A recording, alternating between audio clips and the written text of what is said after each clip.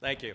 Uh, it's uh, so great to be here. You know, I, I got to give a lot of speeches, and these days the speeches are often pretty depressing, talking about the magnitude of the federal deficit, problems overseas, uh, energy crisis, uh, so on and so forth. And often by the time I finish at wherever I'm giving the speech, people are pretty stunned and depressed. So uh, it's great to be here today to talk about only one thing, and that is beer. And uh, in fact, in my opinion, if we could get more members of Congress to sit around and have a good microbrew, after, uh, after work, uh, of course, when we were done voting. Uh, you know, we might, uh, we might be able to uh, rectify more of our, our, partisan differences. And that's part of the mission of the, uh, of the Craft Brewers Caucus in, in Congress. we have a couple of receptions a year with great help from the association. And I, those are great bipartisan events. I, have got to go to a lot of receptions on the Hill, and, I'm, and I'm often, I'm always beating them up and uh, saying, you know, uh, life's too short for bad beer. And uh, in fact, there's this one major group comes from the Northwest every year, the Pacific Northwest Waterways Association, and they have great seafood. And I said, you have great seafood, and you're serving this stuff to drink. And they're like, oh, we'll do better, we'll do better. And so now for about four or five years, they've had Rogue. Uh, but the first year, they were really excited because I got there and they said, Oh, Congressman, you're really going to like it this year. We got some beer from, from Oregon. It's really good beer. And I said, That's great. It's about, they've been going on for about an hour. And I get in and and uh, I often have to stop and talk. So they said, Oh, we'll go get you beer. And then they come back and they're really chagrined and they said, uh, they're out of beer. I said, How can it be? It's only been going on an hour. Well, the waiters in Washington, D.C. had never seen 22 ounce bottles of beer before. So every young staffer or intern who came up was very happy. And they're all wandering around the room with their 22s. And there's nothing left for me. So uh, you know now they uh, now they hide them and some in the back of the room just in case, but they educate the uh, the uh, wait staff too. Uh, I'm a co-chair of a bipartisan caucus, and if you're following Congress, there aren't a, a lot of bipartisan things going on. Denny Rehberg uh, from Montana is uh, my co-chair.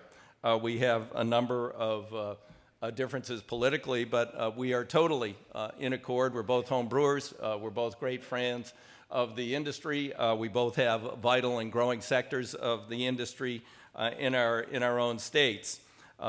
and in the last con Congress, we got over, we got up to 83 members. Our goal was 100 out of 435. We got to 83. We lost 23 in the election. So we're starting from 60. So one thing I'm going to charge everybody with who's here today uh, is when you get back home, uh, contact your local member of Congress uh, and uh, get in to see him with an appointment if you can. If not, uh, meet with a member of their staff and try and recruit them to join the caucus. We want to be the largest caucus in Congress. We want to be the caucus that brings solutions to Washington, D.C. Uh, in liquid form and makes us a better country for all of us. We've got a, an important bill being introduced next week. Uh, the uh, excise tax bill. Again, bipartisan. Beer, beer, seems to be doing that for us in D.C. Uh, it'll be introduced uh, by Jim Gerlach, Pennsylvania, Richie Neal, Massachusetts, and it'll be to have a graduated barrel tax. Uh, and we think that actually, despite the large deficits and all the concerns in Washington, this is a good year for this bill because there is a lot of talk about you know getting clear in the regulatory morass that everybody has to deal with, and that's an ongoing battle uh, with some of the federal agencies that regulate uh, your industry.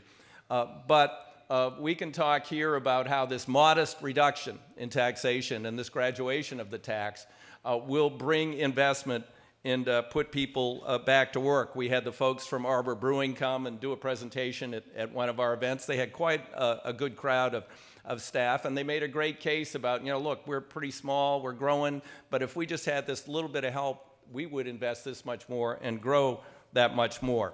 Uh, so uh, next week the bill will be introduced, and that would be the second thing you'd want to talk to uh, your member of Congress or their staff about uh, is now you're in the beer caucus, great. Now here's this bill that is the number one objective of the uh, of the beer caucus. Uh, you know, the, the other thing that I just want to say is we're solving other problems. You're solving other problems.